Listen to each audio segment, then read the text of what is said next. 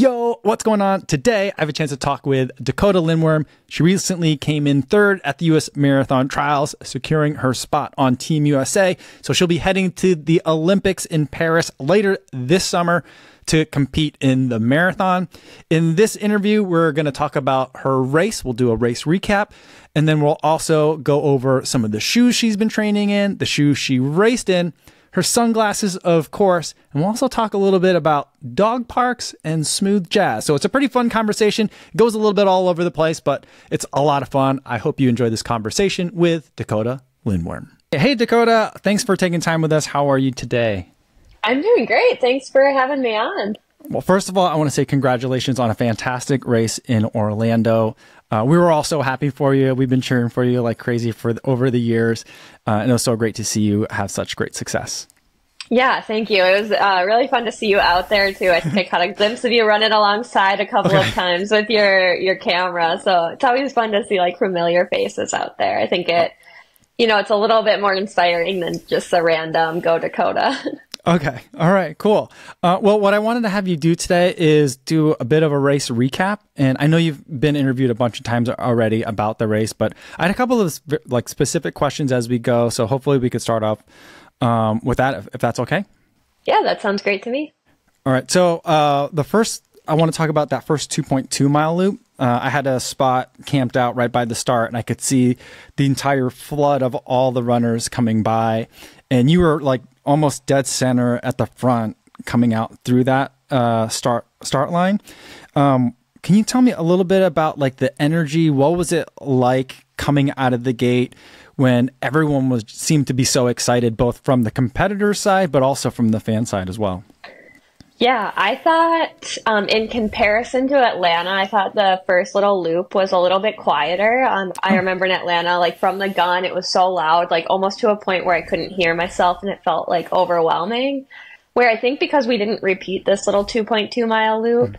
there weren't as many fans out there. So it was still, there was a great energy, but it wasn't overwhelming. And I don't think it, gave me so much energy that I got carried away. I think we saw a couple athletes uh, get a little carried away from the energy, but um, I really liked it. And of course, like those first, like that first mile is all about like getting your positioning, finding who you want to run by, and um, kind of, you know, getting the lay of the land. And I felt like I got in a really nice groove right away and got super comfortable where I was at it's such a rush of people that go by for this race. Uh, and when I saw it in Atlanta as well, it was just like almost like a stampede.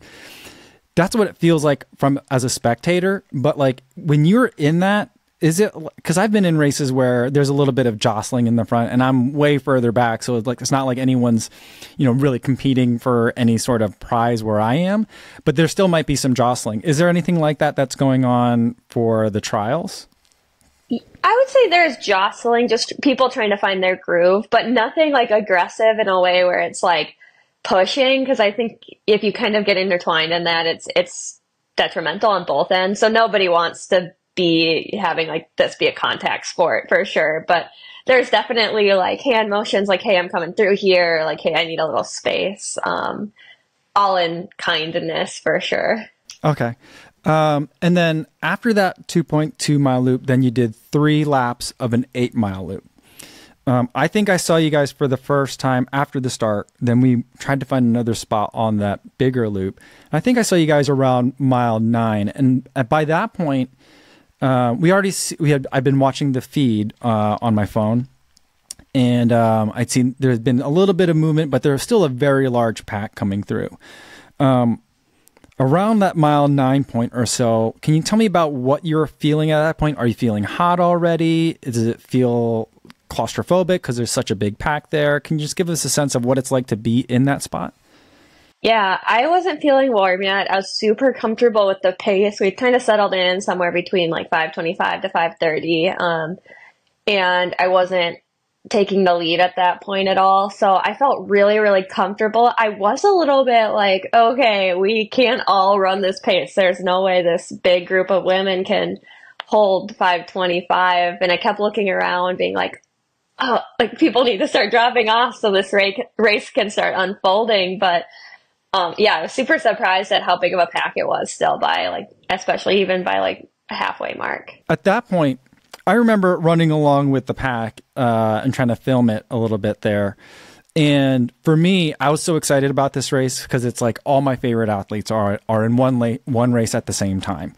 And um, I'm looking at this pack and I'm like wanting to cheer for everyone, and I'm out of breath because you guys are much so much faster than I am, and you guys are running at my mile race pace. What did, what do you guys hear when you're running through a crowd like at mile nine of the marathon trials? I feel like I don't get like a ton of specific cheers the way that like Keira D'Amato does or Emily okay. Sisson. That those are the word like the names that I'm hearing the most, or like Sarah. Um, but otherwise, you're just hearing sometimes in those big crowded areas, it's just like noise, just okay. nothing specific, just ah. Great job, and, um, great job, Sarah.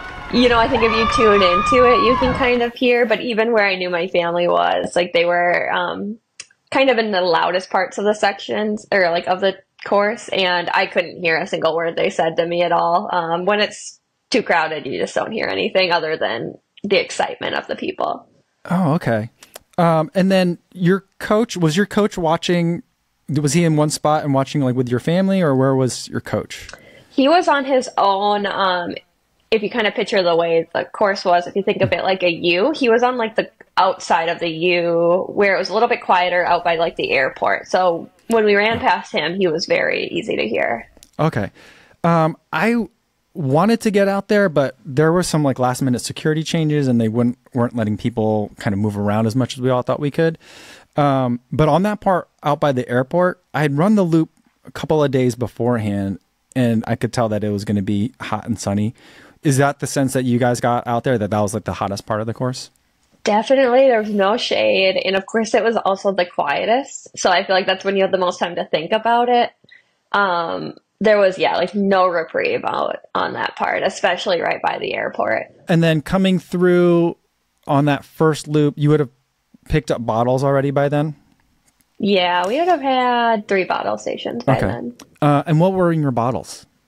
I used Tailwind, and I was also adding. Um, I added a, a one packet of LMNT throughout all the six of my bottles, so an extra thousand grams of, milligrams of sodium. For all wait for all your bottles? Uh, total. So like I took okay. one oh, LMNT okay. packet because okay. they're very uh, dense with sodium. Yeah, yeah. yeah. yeah. I, I, was like, wait, did you just take eight thousand milligrams of salt? No, my kidneys would have shut down.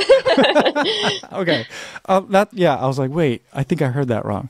Okay, um, and any gels taped to any of your bottles or no? No gels taped to my bottles. I always throw one in my sports bra just in case I miss a bottle. There's like kind of like a backup. Or sometimes when I, this is silly, but when I get like bored or a little bit tired, I kind of take it out just to like chew on it, um, just to give me something to do. But I don't, I didn't use one at all during this. So marathon. you weren't bored during the trials this time?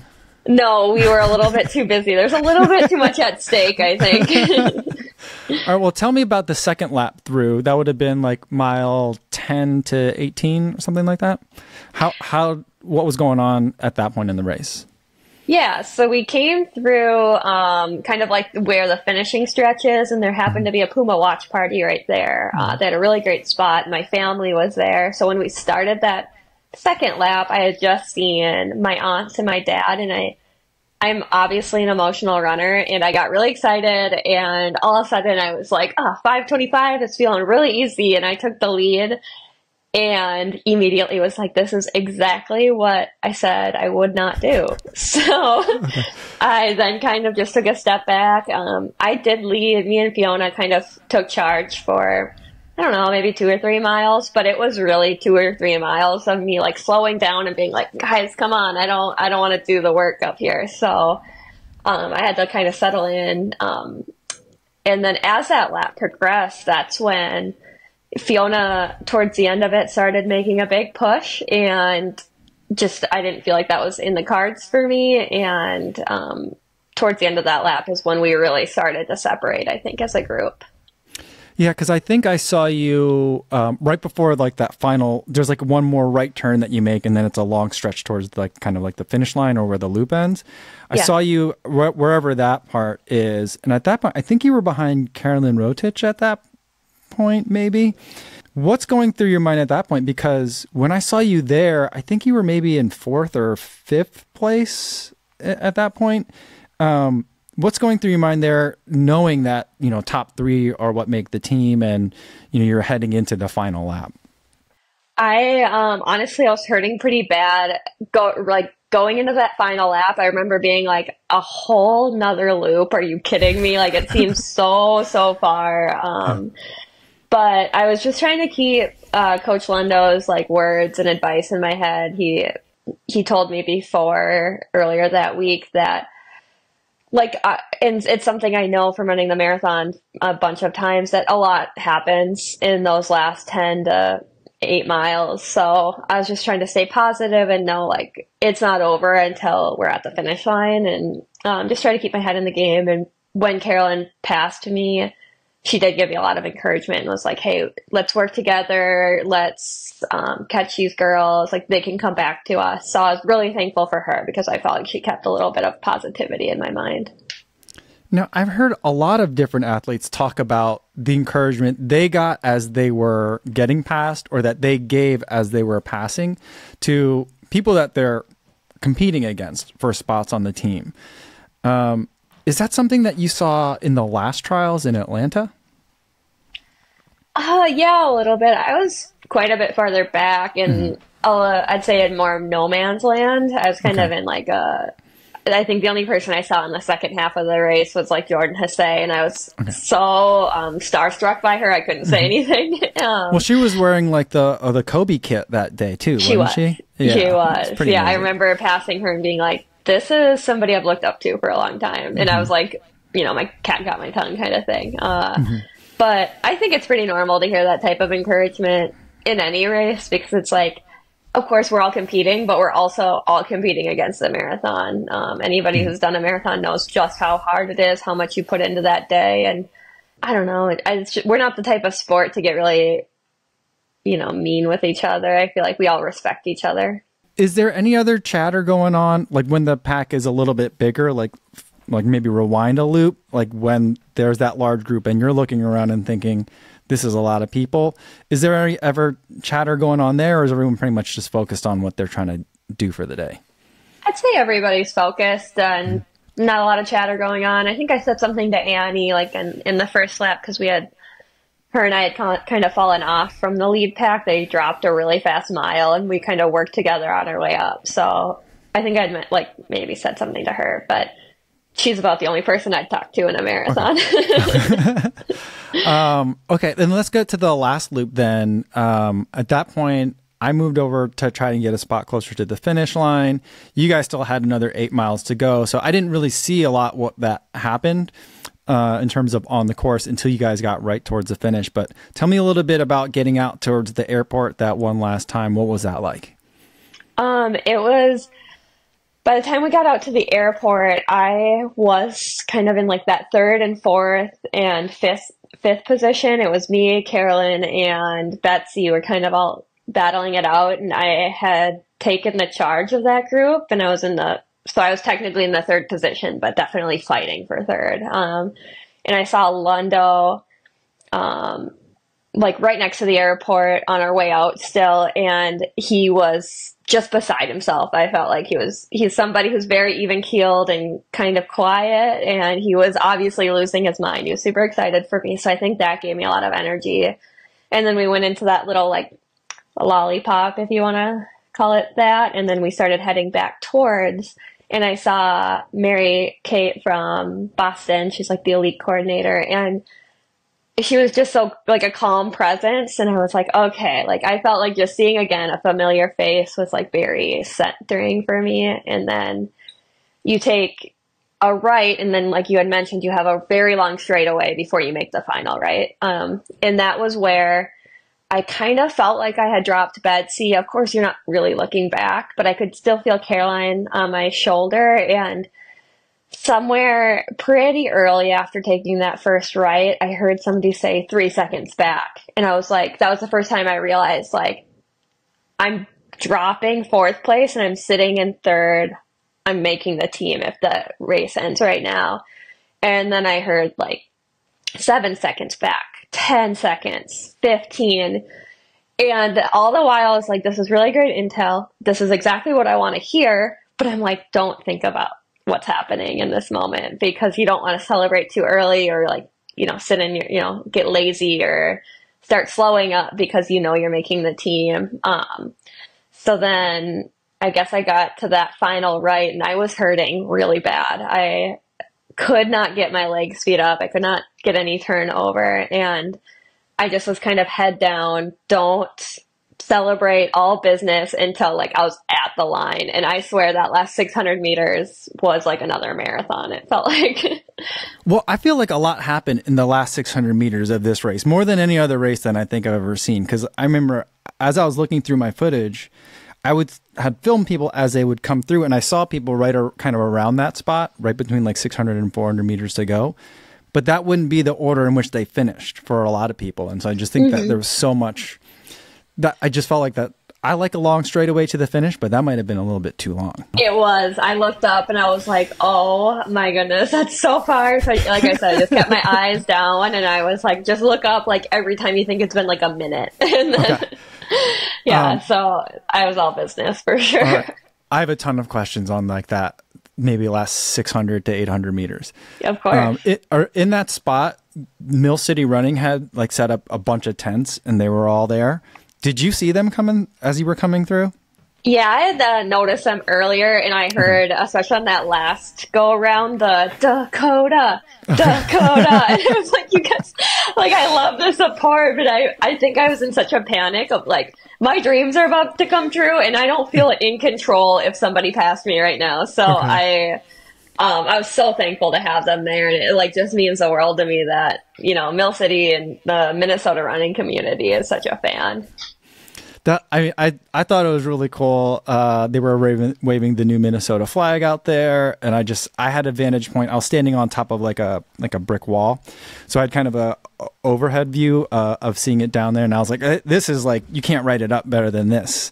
Um, to have that as part of the the home stretch, and I thought it was just super cool. And I'd heard other people talk about how loud it was coming through that section, and I didn't know if you had heard what they were saying at all, but I'm glad to know that you did.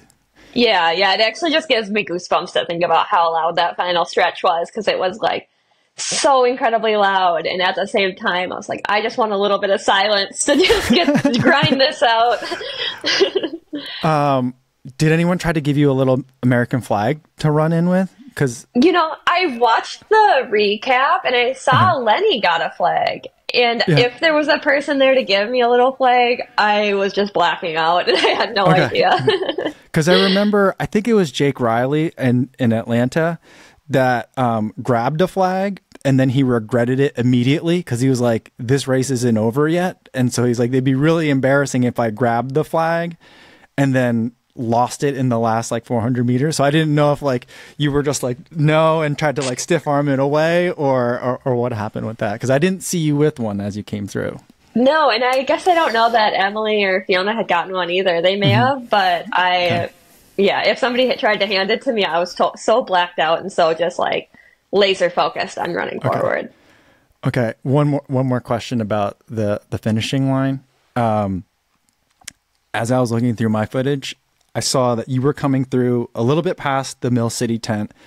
Someone was holding up a baby so that they could see, like above all the other people, and that there was like a baby, like in a onesie, like as you were running by. Did you see a baby? Did it look like someone was trying to give you a baby to hold as you were coming through the finish line? Not. Okay. I, I did not see that, and I never would have taken anybody's baby. but I'm glad the baby got a good view. the baby had a better view than I did. I'll tell you, because it was there was so many people there. It was tough, but uh, it was really funny to see like a baby getting like shoved at you at the finish. that is so so funny. No, right, I, I didn't see that. I'll send I'll send you a, picture of that um, so yeah, you can take a look sure. at it. Maybe you recognize the baby. I don't know. Maybe, maybe I know the baby. um, you mentioned that your dad was uh, there to watch the race with you as part of like your family and your support that was there. And I remember you telling me that at grandma's this year, he had gone out the night before to write some messages for you in chalk. Did he do anything like that for you this year? He he didn't. I think it's like obviously a little bit more serious, and yeah. I guess maybe he could have went and chalked the streets, but uh, no, he was a little bit more serious this time. Grandma's is just so like fun and easygoing that I yeah I know that they don't mind that when he does that. So I think Okay. he just wanted to abide by all rules. Okay, makes sense. Makes sense. Yeah. Uh, but I did see that someone had a big head made of you. Um, Yeah, I saw a big was- Dakotah face in, Yeah, some of the finish line big, photos. yeah. I, I already think I have a big head, so when somebody makes it bigger, I'm like, this is so unnecessary. but yeah, um, Destination Marathons. Uh, there's a company that kind of has supported me through my career, and they made Okay. a bunch of big heads to pass around. Oh, that's super fun. Uh, that's amazing. Um, I saw, I can't remember who posted it, but I saw there was a picture of you um, then at the finish talking with Annie after the race. Um, it, can you share what you guys were talking about, like in the immediate moments after the race? Yeah, I think we were just, um, you know, telling each other how proud of each other we were. She she told me that somewhere along the way somebody told her that I was in third, and that really hyped her up. And I'm so proud of her for a- tenth place finish at her first Olympic trials is incredible. Like there's so much pressure on you at the Olympic trials. It's top three or bust, and I think a lot of people um, flush the race down the toilet if it's not going the way that they wanted. And for her to tough that out, I felt really proud of her. Um, and I think we were just sharing those sentiments for sure. Oh, that's awesome. Um, I mean, I, I, think I thought she had a really great race out there as well um, in the tough conditions. Um, can we switch gears a little bit and talk about the sunglasses for a moment? The sunglasses that absolutely stole the show, which is Yeah. so funny. yeah. Um, so uh, I'm guessing that like uh, there isn't like Puma sunglasses that you could have worn or anything like that. No, I don't have any. They may have some, and they just never Okay. sent them to me. Oh, okay. Um, and to be honest, like if I got Puma sunglasses, I would cherish them and like probably enjoy them. Where Mm-hmm. these were solely bought because I just wanted to be able to throw them off and not Oh, care okay. that I threw them away. Um, which is why they're just cheap fifteen dollar Amazon. Did you know that like sh- shortly after the links went out for what your sunglasses were, those sunglasses sold out? Yeah, I am actually um like I wish I could see the numbers, I guess. Like how many sunglasses were sold uh which is so funny because yeah, I literally bought them just to throw away and I didn't expect them to pop off the way they did. Yeah, they certainly did. Um, do you have? Do you ever do Amazon affiliate links? I don't know if your contract permits you to do that, but No, I haven't. I don't know if my contract allows it or not. so I I should have done that in hindsight. I bet I would have made a nice little paycheck there. yeah, you're you're probably missing out on tens of dollars by not having Yeah. an affiliate code that we could share Yeah. for you. yeah. Um, yeah. Are you going to be racing in the same sunglasses? You think for So- for Paris?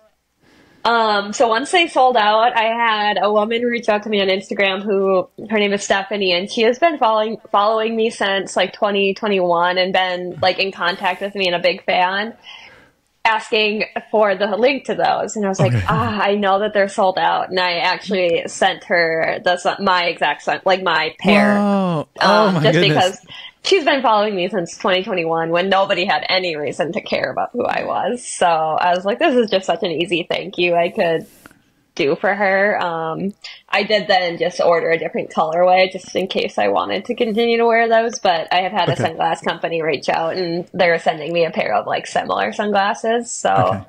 We'll see if I decide to wear those. I just like something that doesn't slip down my face or bounce when I run. Mm-hmm. So I have a pretty low bar for the type of glasses I like Okay. to wear. Okay. Is it would be it would still be something that you would be able to throw off if you needed to during the race?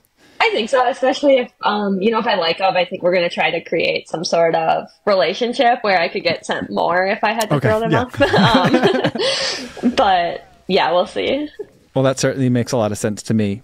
Um, before we start talking about Paris, I'd like to um, rewind a little bit and get back to the training block and uh, talk about some of the shoes that you trained in. Let's start though with what you raced in. I think I know what they are, but um, I don't think that they were kind of off embargo at the time that you raced. But I think you can you tell us about them now? What did you race in? Yeah, I wore the Puma Deviate Elite 3s. They're, um, I think they were officially released. They have to be in order for us to race in them. Um, so they probably did a, like a small sellout of those shoes and they're like officially like technically on market. Great, great. Um, and clearly you did well in them, but did you enjoy them? I love them. I've been a Deviate Elite fan from the beginning versus the Fast Stars. I think they're the thing is, is they're both really great options, and it was a very difficult decision for me. Um, they just feel a little bit more like an extension of my body. Um, where the fast stars, I do have to think like, okay, you have to use a shoe, like lean forward in your stance, get the power out of the shoe. Where the Deviate Elites, for me, it's just like, um, they're just like home for my feet, I mm-hmm. guess, if that makes sense. And the the upgraded version, the the three is like slightly more stack height and a slightly more aggressive plate, so it it does take on some of the power of the fast star, I think. Nice, nice. I haven't tried that one yet, so I'm looking forward to it. I, I really do like the Fast R2. I do. I'm very too. excited to buy that one, but um, and and previously I was like, okay, Deviate Nitro Elite Three, the regular Elite Three, like uh, I I enjoyed one and two okay, and I wasn't too excited. But then I was like, well, I don't know. There's a pretty good yeah. day by Puma athletes in that shoe, so maybe I need to take a take a more careful look at these shoes. I'm excited. Yeah, the, if you like the Fast Stars for their foam, it's they're taking the Fast Star 2's foam and putting it in the Deviate Elite 3, um, which okay. is what I think the biggest upgrade mm. is because in the lab, what they told us is that in like minute one or hour three, that foam is just as durable and responsive, um, mm. which is something they haven't been able to replicate in any other shoe. Very cool. Very cool. All yeah. right. Well, I'm going to have to make some phone calls, make sure I get that shoes. yeah. um, but in addition to what you were racing in, you were training in uh, various Puma shoes. Can you tell us a little bit about uh, the breakdown for which shoes you were reaching for most?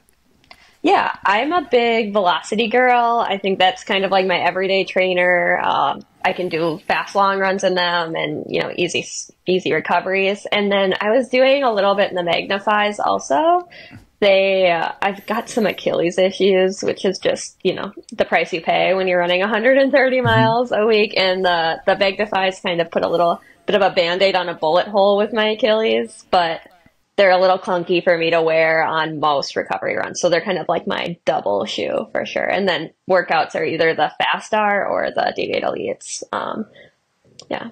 Well, let's start talking about Paris. Um, are have you had a chance to sit down with your coach and start talking about like when does training start, like what changes to make, anything like that? So we are uh, chatting officially on Sunday, but we've been texting okay. back and forth, of course. Like uh, okay. we've we've got plans in place to go to Paris. Puma's actually going to throw like a bit of a, a, party in Paris in April, so we're going to go do like a course tour out there. And oh, cool. I've started training already. This is my first week back, and um, yeah, I think we plan to talk on Sunday. My hope is to stay up at those 130 mile weeks since they seem, seemed to treat me pretty well. okay. Now, I think I remember we've talked previously how that you feel like a strength of yours is warm weather racing. Not necessarily that you like hot weather racing, but that you're you're good at it. Is that right? Is that that accurate way to put it? Yeah, absolutely. I okay. definitely think it's a strength. in a way where it just doesn't seem to affect me the way it affects other people. Like I, I heard many people complain about how hot it was at the trials. And there were moments where I was like, oh, maybe I should have wore some sunscreen, but I was never like, oh, I'm dying out here. Like I never felt super hot. Did you not have sunscreen on during this race? No, but I really wish I had because I, I, did get a little bit sunburned. okay, okay. But um, like sunscreen's like weird when you're running. Sometimes it makes yeah. you feel a little icky. Yeah. So Okay, I just wanted to, to check on that. But um, so for for Paris, I mean, it's probably going to be a very hot race. Then, um, do you think that plays into your strengths then? Absolutely, and I love that it's also going to be a challenging course because I think it does really level the playing field. Nobody's going to be going out there to run sub 220, in my opinion. I would be surprised if that happens. So I think that makes it really exciting for you know us back at the Packers, if you want to say that, uh, in terms of like the you know on a world stage. I'm kind of probably like one of going to be one of the slower athletes there, so um, I think it can really open it up and create like a Molly Seidel moment, you know. Okay, um, have you had a chance to talk to Molly at all? Uh, her and I DM'd a little bit on Instagram, and she was okay. congratulating me. And you know, I definitely hope to pick her brain and mm-hmm. get as much experience from her as possible. Very cool. And then have you talked to Fiona at all about um, since you've seen her in Orlando? No, we haven't. We haven't talked at all. Uh, Okay. Ali on the Run. I did her podcast, and she's like, "You guys need a group chat between Yeah. Emily, Fiona, and me." So we'll have Yeah. to get that going at some point. All right. I'm I'm always fascinated with the group chats. I think that's one of the most fun things about kind of like modern distance running for some reason. It's not that important, but I just find it so fascinating. Yeah, absolutely. It's fun that we can have such a camaraderie. And I think the marathon for the Olympics, I'm looking forward to it so deeply because it really is more like a team aspect. Like a, a medal for either of those two women is a medal for me, it seems like, in the same way. So it, I think it really creates like more of a team aspect. Can I can I rewind a little bit to the preparation for Orlando? A question I forgot to kind of um, ask about. I'm not sure where this question is really going to go, but did you were there for like a month before the race? Is that right? I was there for like two and a half months. Oh, okay. I So went. there I think I may have been the first person, like the first person to relocate to Florida. I went the day after Thanksgiving. Oh, you were there a long time. Yes, yeah, yeah. Um, do you have a dog? Did you bring a dog down there? I you? did, yeah. So he is now eight months old. So at the time he oh, was Oh, six- okay. like about six months old. So we drove the 24 hour drive down to, You drove we went to- down to Orlando? yeah, it was, we went to Ormond Beach first and spent Okay. a couple of weeks on the ocean. But it, Okay. he doesn't really love the car, if you can imagine Okay. that. Now, I thought I had heard someone else mention that there was a dog park that a bunch of marathoners were meeting at regularly. So uh, once it seemed like everybody got down there, Des reached Mm-hmm. out to a bunch of us who had our dogs, and we did have one dog party that she totally, you know, created herself. And Okay. um, so it was me, Annie had her dog Billy, um, Emily had her two dogs, and uh, then Des, of course, had her two dogs. That's ama- that's amazing. That's quite a dog party. It was super fun. Um, uh, my dog August, it was of course a puppy, and he was a little shy, but he came out of his shell by the end. it Okay. that's was super. that's so it was super cute. Yeah. That's so fun. I don't, I don't know why that the idea of all these people getting together for a dog party is so exciting for me. Maybe I, I don't know. Maybe it's because I miss my dog, but um, Yeah. that sounds like it was super fun. Um, are you going to be able to bring your? Are you going to bring your dog to Paris? No, um, we'll Okay. get like some sort of rover. Have my somebody watch him. I guess one of my teammates maybe. Um, he he would be too much on a plane for sure. yeah. Okay. Okay. Um, one more question about the the trials. Um, I I think I heard you talk to my friend Lindsey Hein about um, what you were like music to listen to before the race, and you mentioned you were listening to something chill because you had watched the movie Gran Turismo. Yeah. Uh, I love it. Are you a Gran Turismo fan? Did you play the video game? Never played the video game, but it was the like last movie. So when we were in Orlando, Annie and I were obviously living there, and our boyfriends came down, and we created a list of movies we wanted to watch. And it was the last movie we had watched before we had to move out of our Airbnb. And I just like it was such a perfect last movie to watch because it's you know inspirational and Yeah. um, I don't know. It was just such a great. Uh, I don't know. Left us le- left us off on good vibes, and I loved the music. The whole soundtrack was great, and then that's literally I like Googled. I was like on Spotify, like Gran Turismo soundtrack, and it was Yeah. perfect. Um, and then just to also reference that movie, he says like champagne is for the podium. Yeah. And yeah. after the race, I was like, "Where's my champagne bottle?" And my aunt uh, went out while we were getting dinner. She just disappeared. I was like, "Ah, I don't know where she went." Um, and she went around the corner to a liquor store to buy me a bottle of champagne, and I got to pop it. Oh, Um, did you? Which was did really you spray it on everybody?